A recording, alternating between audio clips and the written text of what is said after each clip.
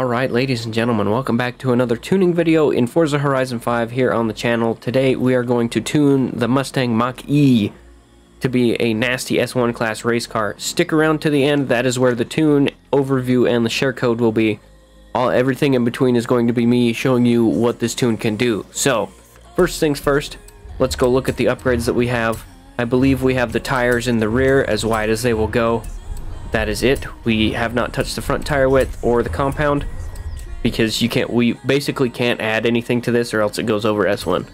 Uh, the front track width and the rear track width are both as wide as they will go. We have the racing differential and I believe that's it. We didn't touch anything here because that puts you over the edge.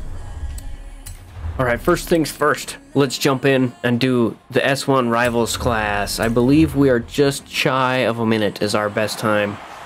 I think it is just like 59.7 or something in the GTR, the Nismo GTR that just came out. So let's see what our Ford Mustang Mach-E can do. Let's jump to the flying lap.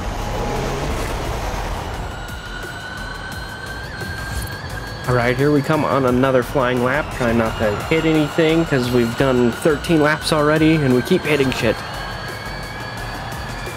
We're going to take this one nice and relaxed and try and take it smooth and not hit anything.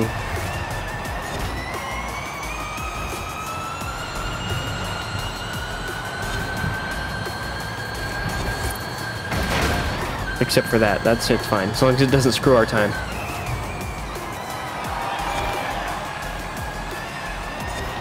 Very nice. Keep her steady.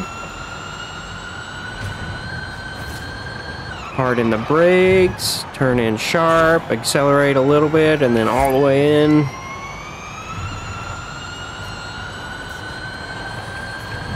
Smack flag, harden the brakes, hit this corner pretty sharp. Stomp on it. I think this is a good time. As long as we don't hit the wall on the way out of the corner. Let off just a hair, back in it. Ooh, don't hit the wall. Very nice. Ooh, and that was the best time. All we needed to do was relax. One minute and half a second. So it's like 0.7 slower than our Nissan GTR. It is very big and it is hard to hit corners right with it. But it handles really well. And it looks... I'm, I'm gonna be honest, it's hideous. I hate it. They call it a Mustang, but it looks like a freaking... I don't know, an old Explorer. Like a 2015 Explorer. I don't like it. Anyway, thank you all for watching. Hope you guys enjoyed. Look out for the tune and the share code that are going up on screen right now.